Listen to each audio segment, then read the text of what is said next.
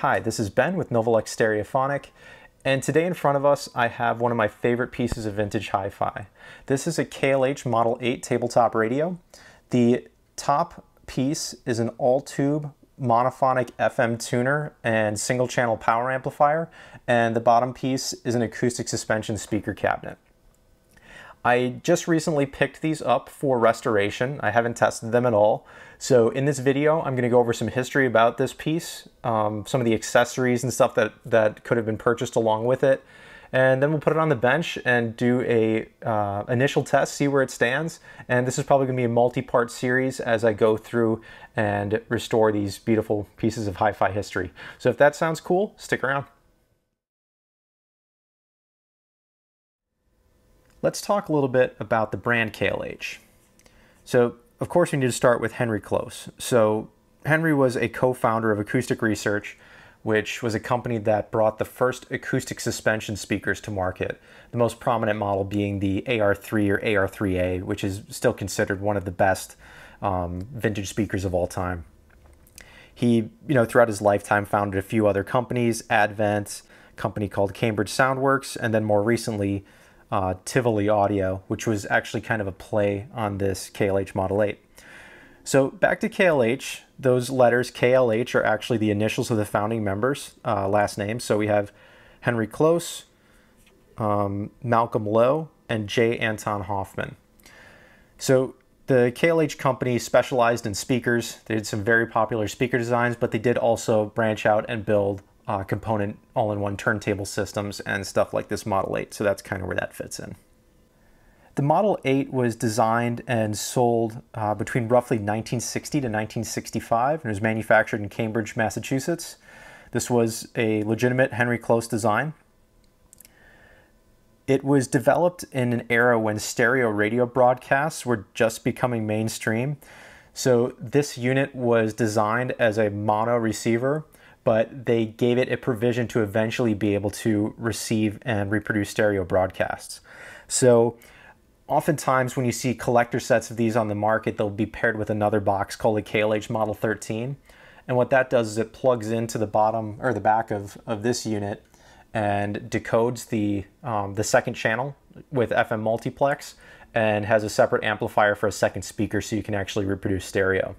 So I got these spun around just so we have a little change of scenery while I'm talking a little bit here. So I've always kind of had a soft spot for KLH equipment. Um, back around 2015 or thereabouts, I was working at a uh, audio shop in, in Ithaca, New York, and I was tasked with cleaning out some of the storage areas, and I stumbled upon this really trash set of vintage speakers. And I tested them, the tweeters didn't work, the cabinets were really beat up, but I was thinking, you know, this might be a good project. So I ended up talking to the owner and I acquired them and I uh, restored them and I actually ran them as my main speakers for many, many years. I really enjoyed them. And I actually have a, a review of probably the second or third set of those that I restored uh, posted here on YouTube. So I'll throw up a link to that as well. Now, when I was restoring those speakers, I I found this website called the Classic Speaker Pages, which is an excellent resource for anything early East Coast American. So acoustic research, KLH, Advent, it's all up there and there's a lot of really good information. And there's one specific user known as J. Kent Hollingsworth, or J. Kent, and he created almost a entire treatise on how to restore a KLH Model 8 radio. It's an excellent resource and I'm going to be referencing that a lot throughout this video series. Um, I really want to put a special thank thanks out to um, to J. Kent for putting that together. It's it's it's really cool that somebody would take the time to compile all that information and get it out there for other people to use and enjoy.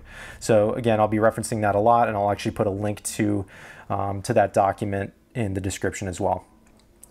So when I moved to New York City. I brought those KLH Model 5s with me, used them for another few years when I when I first moved here.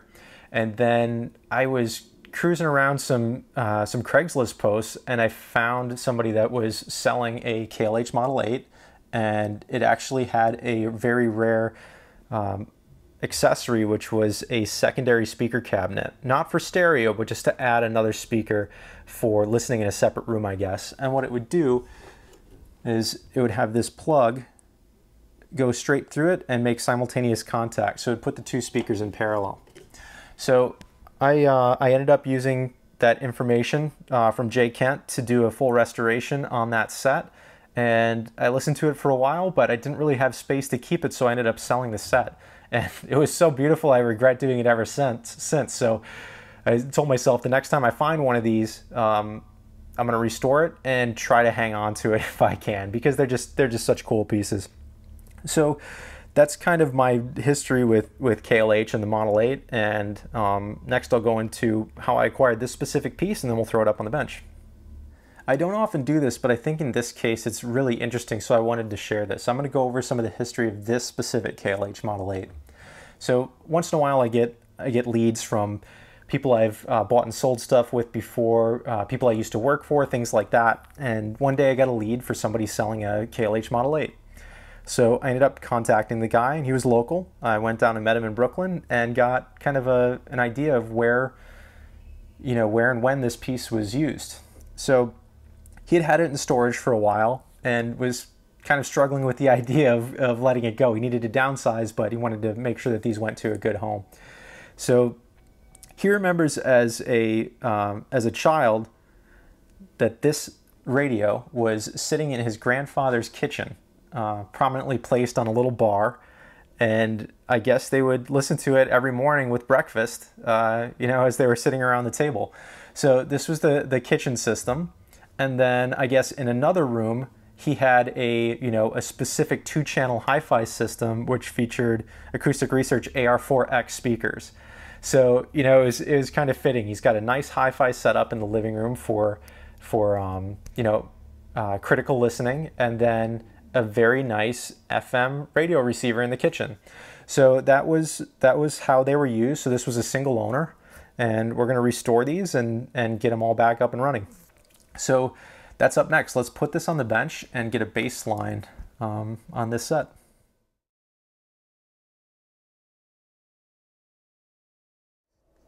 All right, I'm going to test these uh, devices one at a time because I have a controlled environment here at the bench. So I'm going to start out with with the speaker. So what I've got going on here is I'm going to be feeding a signal from my signal generator into my test amplifier and I'm going to come out and connect to the to the speaker leads with these two wires. So originally this would have had a banana connector on it, but that has broken at the base. So I'm just going to strip the wires here get us good contact. And just as a quick reference, I'm going to take a DCR measurement here, DC resistance.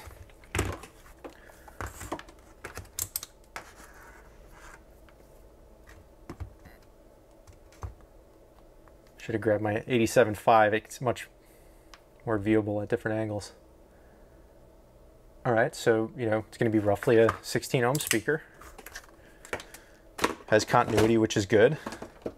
Now, as far as I know, this is just a dual like uh, full range speaker. There's there's kind of an outline here that you can see where it's like a like a three inch driver here and here. So let's hook this up to the test amp.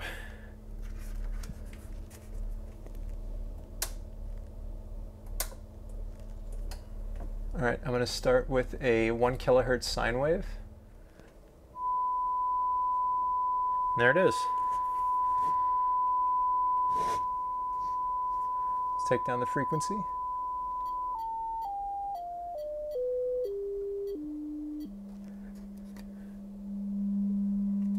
So there's a little bit of rattling there.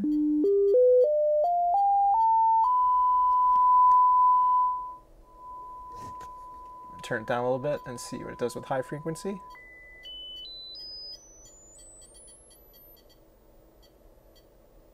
I stop hearing about 15 kilohertz, which is probably pretty respectable for the drivers that are in here.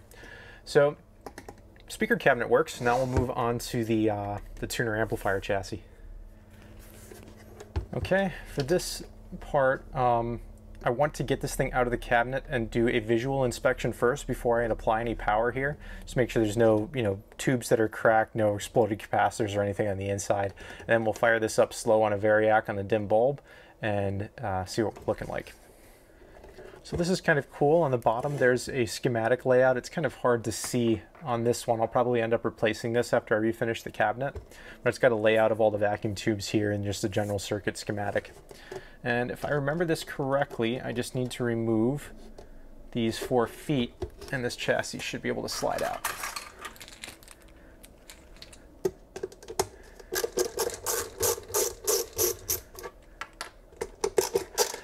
I'm to put this up on its side so that I don't have so much stress on the screw joints.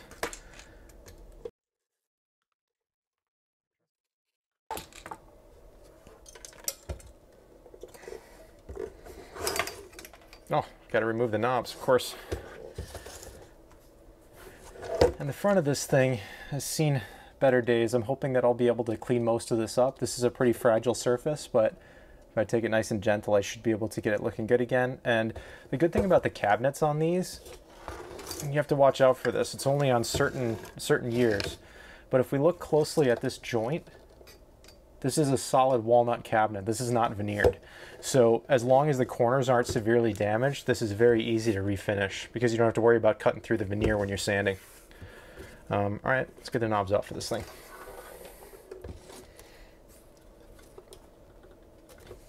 It's easier than expected.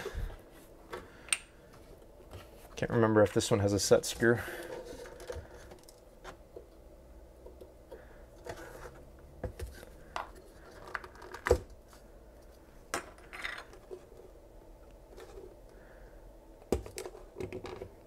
Wow, that was much easier than expected. Cool, I should be able to pull this right out. Just gotta be careful not to grab here because I don't want to break that, uh, that piece.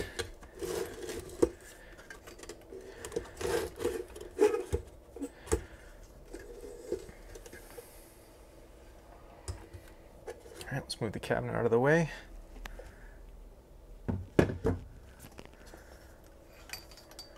Well, it's definitely going to need a good cleaning.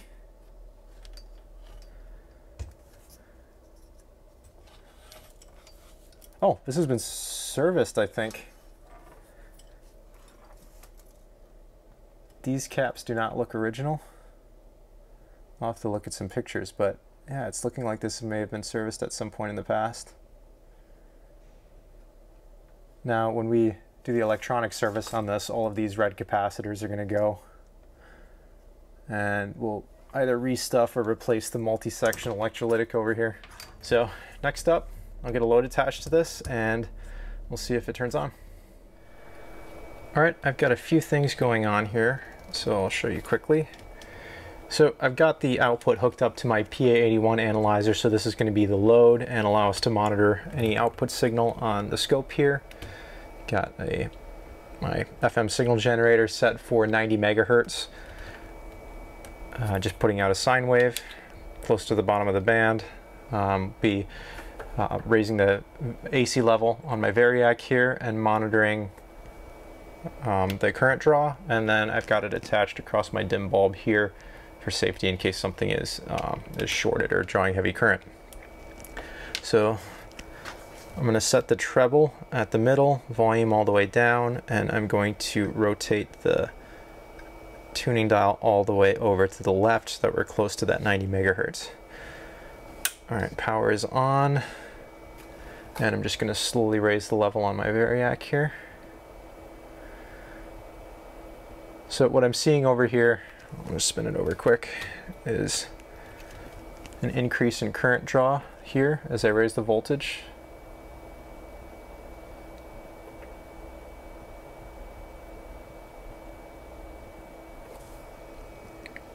Yeah, around 60, 60 volts here. I'm just going to let it sit and see if the power supply comes up. There should be a, a neon indicator here, but it may be burnt out. Continue to raise it here. I'm going to stop it around like 110 volts.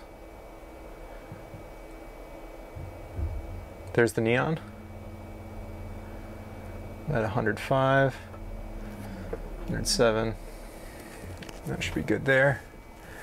I don't think the output section has come in yet because I've got nothing on my dim bulb over here. Oh, there it goes. It's starting to come up. and we're drawing about 300 milliamps of current for the whole circuit. So that's all the tube filaments and then uh, the output section starting to conduct. So hopefully when I turn up the volume here, we're going to get a little bit of noise.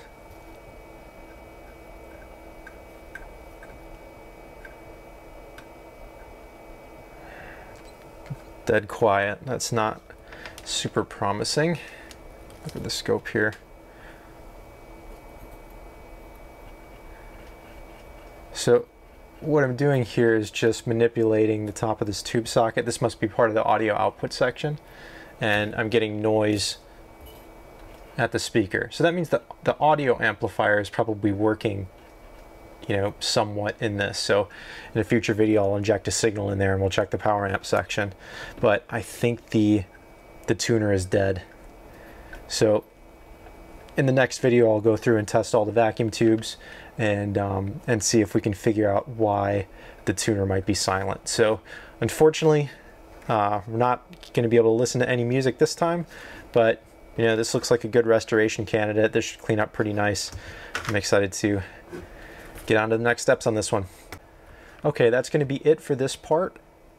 Thanks for stopping by the channel. If you like this content, I encourage you to subscribe and we'll see you on the next uh, next episode on this series. Thanks again.